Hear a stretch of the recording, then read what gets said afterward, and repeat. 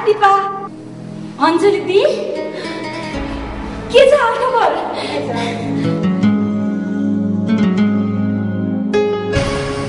दी यत्रो समयपछि त्यही त Dipa meet my son Prajwal hi aunty ओहो कत्रो भइसकेछ बाबु त अ, दी भित्रै बसेर काम गरौँ जाउँ अब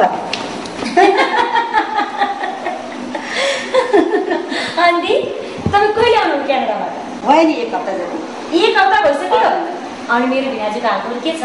दिनाजु त उतै हो नि क्यानाडामै। ए। अनि तिमीलाई थाहा छैन? हाम्रो त डाइभोर्स भइसक्यो त। गॉड मैले भने होइन नि खालि डाइभोर्स मात्र भएको। किन आत्तिएको? अनि हेर दिपा विदेशमा त डाइभोर्स भनेको त केही पनि होइन। त्यो त एउटा साधारण कुरा हो। ए बाबु तिमीलाई थाहा छ दिपा आन्टी र म एउटै स्कुलमा पढ्या हो नि आन्टी? तपाईँ अचानक नेपालमा खासमा कुरो के भने नि फेसबुकबाटै मेरो एउटा केटासँग अफेयर भयो। अनि त्यो केटा नेपालमै बस्छ। अनि बिहे गर्न पर्यो भनेर आऊ आऊ आऊ आऊ भन्न थाल्यो। खासमा डिभोर्स पछि मलाई बिहे गर्ने कुनै इच्छै थिएन। तर उसको जिद्दीको अगाडि मेरो केही लागेन। हार खाएर अन्तमा म नेपाल आएँ। अनि थाहा छ दिपा भोलि उसैसँग मेरो कोर्ट म्यारेज हुँदैछ। आजकल तिमीलाई थाहा छ? फेसबुक त एउटा सारा खोज्ने माध्यम बनेछ नि। अनि कति तिम्रो हस्बेन्ड घरमा त घरमै छ। ऊ पनि कतै सहारा खोज्दै होला। उसलाई फेसबुकको नराम्रो लत बस्याछ दी। फेसबुकमा त्यस्तो केही हुँदैन आन्टी। साथी बनाउने हो। मित्रता बढाउनु राम्रो कुरा होइन र आन्टी। राति दुई बजेसम्म पनि कस्तो मित्रता बढाएको हो? आन्टी फेसबुक भनेको त नसा हो नसा खालि नसा हो कि घरभित्रको साढे सातको दशा हो फेरि तिम्रो अङ्कलले फेसबुक चलाउन थालेपछि भुइँचालो गएको पनि थाहा पाउँदैन। अनि तिमी चलाउनौ फेसबुक चलाउन कस्तो मजा आउँछ? ल त दिपा अहिलेलाई म जान्छु। भोलि मेरो कोर्ट म्यारेज छ। तिमी आउँछौ होइन? ए सरी दे म आउनु पाउँदिनँ। तर बिहे सकेपछि पर्सि चाहिँ मेरो घरमा लन्च। हुन्छ बहिनी। हस् त म जान्छु अहिले है हस्, हस्। दिपा उम्, मेरो मोजा खोइ मोजा मोजा? मोजा फेसबुकमा खोज न। मोजा मात्रै किन? स्वास्नी पनि खोज फेसबुकमा। तिम्रो खुट्टामा छ नि त्यहाँ मोजा? सरी दि मेरो श्रीमान हाई ओ हाई ल म गएँ अब।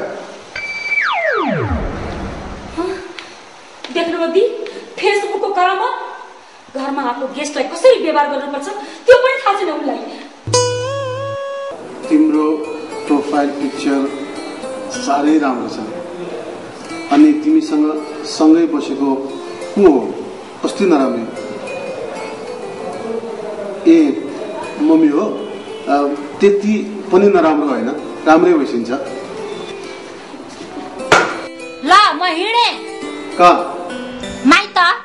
ढुङ्गो माटोसँग के बस्नु घरमा? मरे बोल्दैन। फेसबुकले नि पुग्ने भएपछि मेरो के काम यो घरमा? एकछिन पखै म एउटा यहाँ स्ट्याटस लेखिहाल्छु।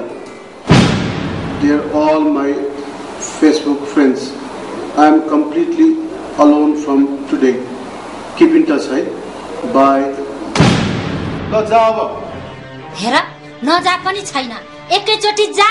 तिम्रो चालामाला ठिक छैन। हो। मेरो चालामाला राम्रो छैन। अब खुरुक्क नजिस्किकन जा। जान्न के गर्छौ? तेरो बोलीको पनि केही ठेगानै भएन। छिनमै जान्छु छिनमै जान्न। तँ त यो देशको एकदिन प्रधानमन्त्री हुन्छ जस्तो लाग्न थाल्यो मलाई। तिम्रो यो फेसबुकको बानी छुटाउनेलाई म एक लाख रुपियाँ दिन्थे। मलाई पनि तँबाट छुटाउनेलाई पाँच लाख दिन्थे। फेसबुकले के यस्तो गरायो भोक प्यास निन्द्रा नै हरायो फेसबुकले के यस्तो गरायो भोक प्यास निन्द्रा नै हरायो।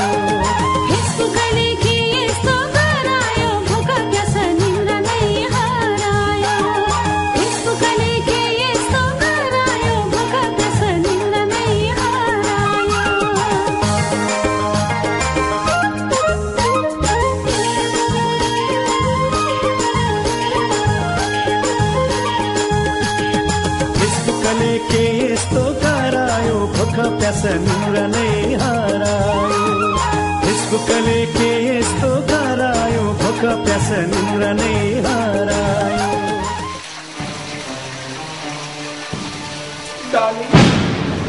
नरिसाउ नै हेर। साइबरको कसम तिम्रो र मेरो सम्बन्ध कम्प्युटर र माउसको जस्तो छ। तिमी बिना म चल्नै सक्दिन। Please darling. डार्लिङ। भाउ पनि मलाई ताक्ने छोरो पनि मलाई ताक्ने। तिमी त प्ले बोयको सन्तान रहेछौ। म प्ले बोयको सन्तान होइन डार्लिङ मारवाडीको सन्तान हो। थाहा छ तिमीलाई? तिम्रो बाउले मेरो हात समात्यो डार्लिङ हातमा समातेको हो। अब बुहारीको खुट्टा थोरै समाउँछ। सलमान खान जस्तो केटा पढोस् सलमान खान जस्तो केटा पढोस् भनेको त तिमी त अक्षय खन्ना जस्तो पढोस् कपालै छैन। डार्लिङ साठी हजारमा कपाल पनि पाउँछ। कपालमा के छ डार्लिङ अब मेरो मन हेर न मन। कति सफा छ। प्लिज। हामी दुई बिहा गरौँ न? घर कसको नाममा छ? घर पापाको नाममा? गाडी?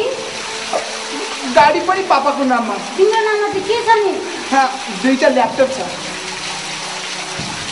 घर बुवाको नाममा गाडी बुवाको नाममा सारा सम्पत्ति बुवाको नाममा। तिम्रो बुवालाई चिन्न मैले सकिनँ कि क्या हो?